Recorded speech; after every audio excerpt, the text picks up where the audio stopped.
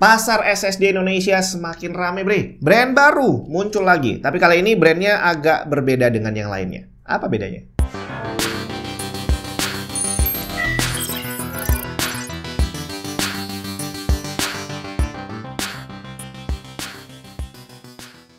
Buat yang lagi hunting komponen PC, bisa coba mampir ke tokonya Tech and Tips. Scan aja barcode ini atau klik link yang ada di deskripsi, terus cek katalognya. Ada beberapa komponen mantan review, ada yang baru, ada merchandise Tech and Tips, dan mau ngerakit PC juga bisa sekalian di sana. Konsultasi gratis, bre. Siapa yang bisa nyebutin brand-brand SSD baru yang ada di Indonesia? Rex 7, Midas Force, Kio, Freon, dan ada banyak banget lainnya.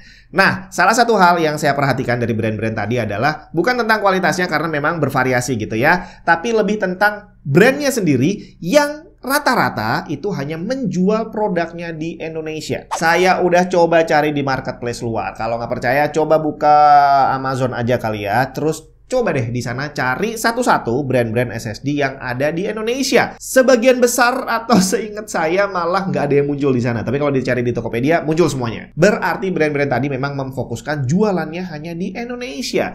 Nah kali ini satu brand yang beda dari yang lain bre.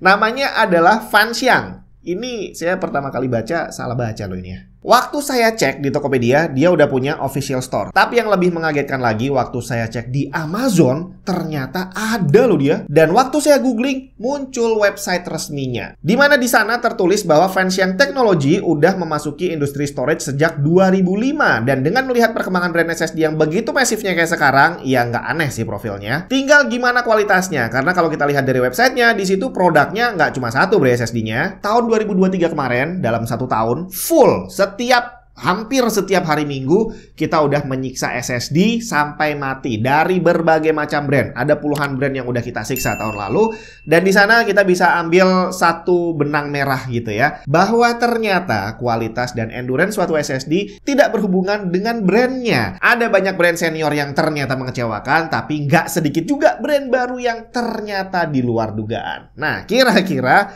gimana dengan si fans yang ini? Yang saya tes kali ini adalah SSD portable dari fans yang tipenya PS160. Tapi bukan SSD portable biasa karena di sini dia punya fitur fingerprint, Bre. Jadi di sini ada sensor untuk fingerprintnya. Canggih ya. Untuk hitungan brand baru, mereka ngeluarin uh, produk yang lumayan menarik loh ini. Di official store Fansiang harga PS160 ini 900 ribuan untuk kapasitas 500 GB. Dari speknya tertulis menggunakan interface USB 3.2 Gen 2, tapi speednya yang tercantum hanya 6 GB per second atau kurang lebih 500 ratusan megabyte per second yang berarti itu adalah speed maksimum dari USB 3.2 Gen 1 atau setara dengan kecepatan SSD SATA. Fitur tambahannya adalah fingerprint sensor dan SSD ini punya garansi resmi 5 tahun. Ke mana klaimnya? Ya biar aman langsung ke official store-nya aja kalau terjadi sesuatu. Build quality-nya benar-benar solid dan terasa berat. Kabel yang disertakan adalah kabel USB-C to USB-C yang ada adapter USB-A-nya. Jadi nggak usah takut dengan compatibility karena pasti bisa dipakai di semua sistem. Sekarang kita lihat aktual performance-nya. Untuk setup awal, kita perlu menginstal program Fanxiang-nya dulu. Fungsi softwarenya ternyata ada banyak. Salah satunya bisa untuk mengatur one click backup. Dengan satu klik otomatis akan mengcopy data folder tertentu dari PC kita ke SSD atau sebaliknya. Pengaturan password dan sidik jari juga kita lakukan di sini. Total ada 10 sidik jari yang bisa disimpan di Fanxiang PS160 ini. Setelah password dan sidik jarinya tersimpan, berikutnya dicolok ke mana pun tinggal scan sidik jari aja. Nggak perlu install programnya berkali-kali. Yang unik, setiap kali SSD ini dicolokin ke sistem, entah PC, laptop, atau yang lain, yang muncul adalah satu partisi 500 MB yang isinya folder installer untuk PC, Mac, dan Android, sama ada manualnya. Kalau sistem keamanan tadi udah aktif, kita tinggal scan fingerprint, maka partisi yang berisi installer tadi langsung nutup dan kita langsung masuk ke sistem penyimpanan. Jadi tanpa masukin fingerprint atau password, yang bisa diakses hanya partisi yang isinya program installer. List data kita tidak kelihatan sama sekali. Jadi kalau kamu memang butuh keamanan ekstra untuk penyimpanan data, fans yang PS160 ini bukan hanya datanya tidak bisa diakses sama orang yang tidak terdaftar, tapi juga mereka nggak bisa ngelihat data apa aja yang ada di dalamnya. Mantep banget nggak tuh? Kecepatan maksimum read dan write ternyata sedikit lebih tinggi tertinggi dari spek, di mana rate aktual maksimum 559 MB per second dan rate-nya 508 MB per second. Dan speed tertinggi ini bisa tercapai untuk rate-nya setelah 1 MB, kemudian untuk rate-nya bisa tercapai setelah 512 KB.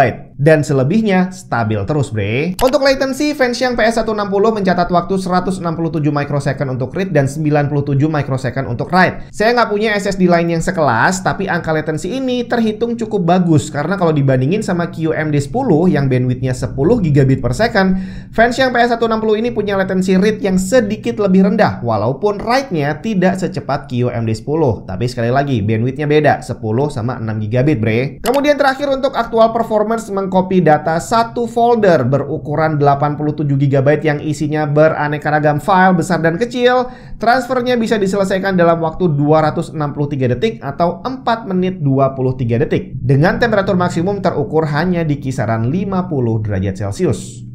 Itu dia tadi fans yang PS160, brand baru yang bukan hanya jualan di Indonesia tapi juga di pasar global.